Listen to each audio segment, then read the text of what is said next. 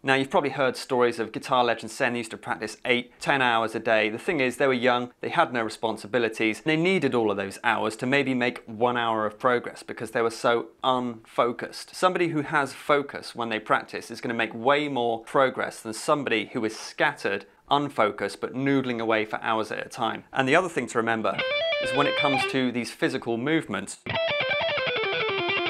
there is only so much you can do before your body gets exhausted. So you're not going to keep making progress physically in terms of stamina or speed or dexterity with your fretting hand once you've gone past a certain point. So there's no point trying to do that for five hours because you're just going to burn yourself out. Even if you only have 30 minutes or an hour to spare, you could do more good work like that with focused practice than someone who just noodles away for hours with no goal in mind. Speaking of structured practice routines, if you want to make serious guitar gains, then click that link, you're going to get everything you need.